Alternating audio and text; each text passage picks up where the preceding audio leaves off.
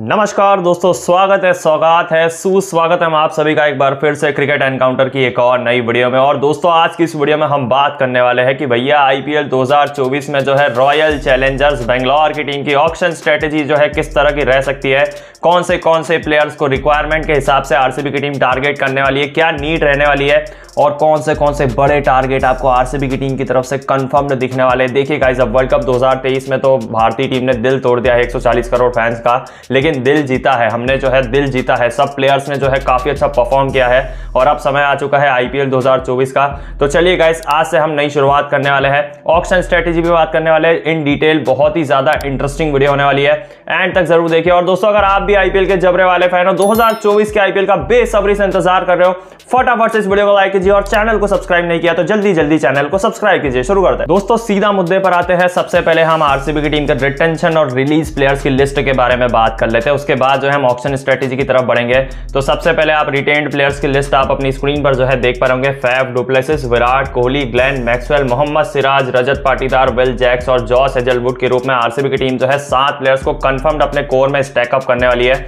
जी हाँ दोस्तों, ये सात प्लेयर्स आपको जो है कंफर्म्ड आरसीबी की टीम में दिखने वाले हैं। क्योंकि विराट कोहली का बहुत ज़्यादा मेन रोल रहने वाला है वर्ल्ड कप 2023 में शानदार परफॉर्मेंस किया था। विंटेज विराट कोहली इस बैक फैफ डुप्लेसिस कप्तानी करने वाले हैं। बहुत ही अच्छी कप्तानी पारी भी खेल रहे थे ये। ग्लेन मैक्सवेल का रोल भी एज अ फिनिशर बहुत ही ज़्यादा अहम रहने वाला है। मोहम्मद सिराज भी होने वाला है। रजत पाटीदार आरसीबी की टीम के एक्स फैक्टर है। मिडिल ऑर्डर में स्टेबिलिटी प्रदान करने वाला हैं। वेल जैक्स भी होने वाला है, एक बहुत ही ज़्यादा बेहतरीन पोटेंशियल है इनके पास एज अ ऑलराउंडर और जॉस हेजलवुड भी हो सकते हैं, बहुत ज़्यादा चांसेस है। तो रिटेन्ड प्लेयर्स की लिस्ट आप अपनी स्क्रीन पर जो है देख पा रहे अब रिलीज़ प्लेयर्स की बात कर लेते हैं तो रिलीज़ प्लेयर्स में जो है पाँच कंफर्म्ड नाम निकल कर आ रहे हैं, जो कि है दिनेश, कार्तिक, हर्षल पटेल, वेन पार्नल, सिद्धार्थ कौल और डेविड विली। जी हाँ दोस्तों, अब दिनेश, कार्तिक का एज फैक्टर आ चुका है आरसीबी की टीम जो है कंफर्म्ड रिलीज़ करने वाली है, क्योंकि दिनेश, कार्तिक का फॉर्म भी इतना साथ नहीं दे रहा है, पिछले साल के आईपीएल में बहुत ही ज़्यादा फ्लॉप परफॉर्मेंस किया था, और 5.5 करोड़ रुपए की बहुत ही बड़ी रकम थी। हर्षल पटेल के बहुत ज़्यादा हाई चांसेस है। कहा जा रहा था कि ट्रेड हो जाएँगे, लेकिन ट्रेडिंग विंडो की मतलब ऑफिशियल डेट जो है मतलब समाप्त हो चुकी है। वेन पार्नेल भी होने वाला है पिचहत्तर लाख, क्योंकि आखिरी में जो है मतलब बहुत सारे अच्छे गेंदबाज आने वाले हैं। सिद्धार्थ कॉल और डेविड विली का नाम भी निकल कर आ रहा है। तो आरसीबी के रिटेंड और रिलीज़ प्लेयर्स की लिस्ट आप अपनी स्क्रीन पर जो है देख पा रहे होंगे।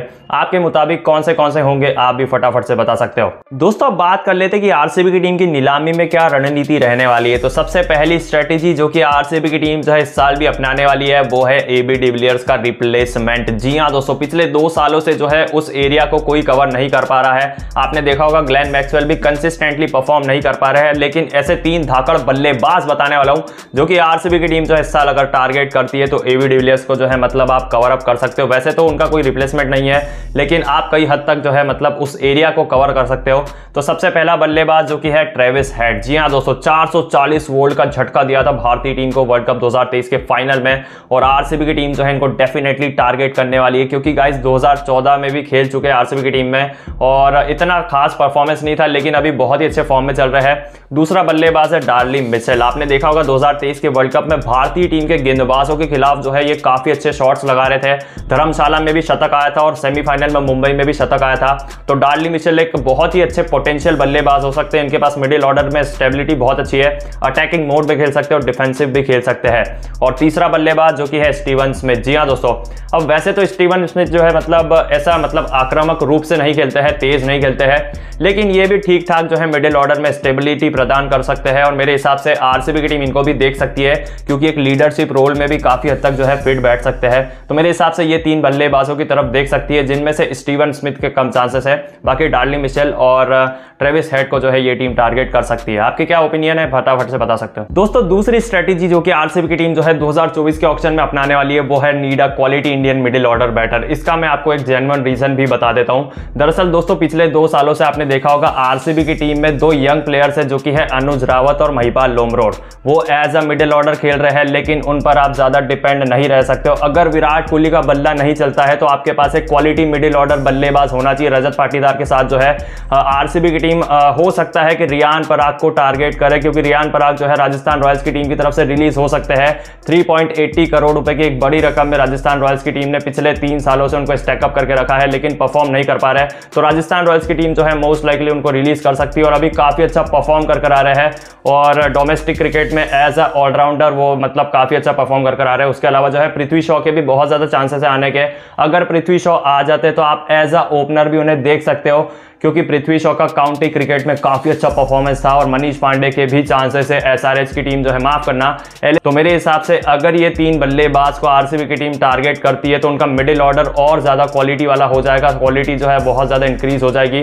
तो आपके क्या ओपिनियन है? कौन से कौन से प्लेयर्स को आरसीबी की टीम जो है टारगेट कर सकती है as a middle order batter आप भी फटाफट से अपनी राय जो है नीचे कमेंट बॉक्स में बता सकते हो। कमेंट बॉक्स आपकी दोस्तों, तीसरी स्ट्रेटेजी जो कि आरसीबी की टीम जो है अपनाने वाली है, वो है भाई need a proper stable finisher आपने देखा होगा 2023 में जो है माइकल ब्रेसवेल दिनेश कार्तिक और शहबाज अहमद के रूप में इतने ज़्यादा सेटिस्फाइंग नाम नहीं थे और एज अ फिनिशर ये कारगर साबित भी नहीं हो पा रहे थे और एक्सपीरियंस के आ, मामले में भी इतने कोई खास नहीं है। आ, लेकिन ये टीम जो है रचिन रविंद्र के पीछे जाने वाली है। डेफिनेटली ये टीम जो है टारगेट करने वाली रचिन रविंद्र को क्योंकि आपको जो है स्पिन भी प्रोवाइड करके देंगे आपको जो है नीचे बल्लेबाजी भी करके दे सकते हैं स्टेबिलिटी प्रदान करके दे सकते हैं। और रचिन रविंद्र का कुछ दिन पहले जो है स्टेटमेंट आया था कि I love to play IPL और आरसीबी की टीम उनकी फेवरेट है। तो मेरे हिसाब से आईपीएल 2024 में आपको जो है रचिन, रविंद्र आरसीबी की टीम में देख सकते हैं। उसके अलावा अब्दुल समद के पीछे भी ये टीम जा सकती है। हालाँकि अब्दुल समद इतने खास फॉर्म में खेल नहीं रहे हैं, लेकिन कुछ बोल नहीं सकते। Never says never Rinku Singh भी बहुत अच्छे फॉर्म में खेलते थे और इनका भी थोड़ा बहुत जो है करियर मतलब हाई हो सकता है। उसके अलावा पैट कमिंस को भी देख सकती है ये team. Pat Cummins world cup winning captain है। इनकी भी ज़्यादा रेपुटेशन बढ़ चुकी है। तो मेरे हिसाब से आरसीबी की टीम जो है पैट कमिंस को भी टारगेट कर सकती है। आपको बहुत ही अच्छी पेस प्रोवाइड करके देंगे। और आपको नीचे से जो है बल्लेबाजी करके भी दे सकते हैं। तो आपके क्या ओपिनियन है इस पर? आप भी फटाफट से बता सकते हो। मेरे हिसाब से जो है मतलब ये एरिया पे भी ध्यान देना पड़ेगा आरसीबी की टीम को। दोस्तों, चौथी स्ट्रेटेजी जो कि आरसीबी की टीम की 2024 में रहने वाली है, वो है need a proper foreign spinner इसका आपको एक जेनुअन रीजन भी आपको बता देता हूँ। तो वनिंदु हसरंगा को ये टीम जो है रिलीज़ करने वाली क्योंकि दस करोड़ रुपए वर्थ इट नहीं है वनिंदु हसरंगा के लिए। और मेरे हिसाब से आरसीबी की टीम अब कोई जो है बजट वाले स्पिनर के पीछे जाने वाली है। और ये टीम जो है डेफिनेटली केशव महाराज और ईश सोडी को जो है टारगेट सा कर सकती है। स्पेशली केशव महाराज के पीछे जो है, बहुत सारी टीमें जाने वाली है। और बहती गंगा में जो है आरसीबी की टीम भी हाथ धोने वाली है। केशव महाराज बहुत ही ज़्यादा कारगर साबित हो सकते हैं। 2023 के वर्ल्ड कप में काफ़ी अच्छा परफॉर्म किया था, ये भी इंडियन है। और मेरे हिसाब से आरसीबी की टीम जो है मतलब चाहेगी कि इनके पीछे जाए। और इस सोडी के पास भी अच्छा एक्सपीरियंस है। इस सोडी के पास भी टर्न बहुत अच्छा है, वो लेटरल मूवमेंट है। इंडियन स्पिन मतलब इंडियन पिचेस को जो है बहुत अच्छी तरीके से जानते हैं। तो मेरे हिसाब से ये दो स्पिनर्स को जो है आरसीबी की टीम टारगेट कर सकती है। दोस्तों, पांचवी स्ट्रेटेजी जो कि आरसीबी की टीम भी अपनाने वाली है और सारी फ्रेंचाइजीज पर जो है मतलब इस स्ट्रेटेजी पर नज़र रहने वाली है, वो है सम बिग टारगेट्स जी हाँ दोस्तों, इस साल के ऑप्शन में जो है बहुत ज़्यादा बड़े बड़े प्लेयर जो है अपना नाम दे रहे हैं और ऐसे में जो है आरसीबी की टीम मिचिल स्टार्क के पीछे जाने वाली है। ये टीम जो है क्रिस वोक्स के पीछे जाने वाली वाली है। ये टीम जो है, अगर कगी सोराबाड़ा को पीबी केस की टीम रिलीज़ कर देती है तो उनके पीछे भी जा सकती है। तो मेरे हिसाब से जो है, ये स्ट्रेटेजी काफ़ी ज़्यादा इंटरेस्टिंग रहने वाली है और देखना बड़ा इंटरेस्टिंग होने वाला है कि आरसीबी की टीम कौन से कौन से बड़े प्लेयर्स को लेती है। एक ट्रेविस हेड का नाम कंफर्म्ड है, एक रचिन रविंद्र का नाम कंफर्म्ड है और मिचेल स्टार्क को भी टारगेट करना चाहेगी। एक्स आरसीबीएन है बहुत अच्छे फॉर्म में है इंडियन पिचेस को जो है, भली भांति जानते हैं। और इनके पास अच्छा वेरिएशन है। साथ ही साथ जो है गेंदबाजी बहुत अच्छी कर लेते हैं। अच्छा उछाल है अच्छा कंट्रोल है। लगातार विकेट टू विकेट गेंदबाजी करना आता है इनको। तो मेरे हिसाब से आरसीबी की टीम चाहेगी कि ये तीन बड़े बड़े प्लेयर्स को जो है टारगेट किया जाए। तो मेरे हिसाब से ये पाँच स्ट्रेटेजी थी, जो कि आरसीबी की टीम की मैंडेटरी रहने वाली 2024 के ऑप्शन में। अब आपके मुताबिक कौन सी कौन सी रह सकती है और मुझसे जो है कौन सी कौन सी मिस हो चुकी है? फटाफट से आप भी अपने opinion let me know in the comment section तो बस इस वीडियो में इतना ही, तब तक के लिए नमस्कार बाय बाय वीडियो को लाइक और शेयर कर देना। और अगली टीम कौन सी देखना चाहोगे, फटाफट से नीचे कॉमेंट बॉक्स बता सकते हो। तो बस इस वीडियो में इतना ही, तब तक के लिए नमस्कार बाय बाय वीडियो को लाइक और शेयर कर देना। चैनल को सब्सक्राइब करके बेल आइकन भी ठोक देना बाय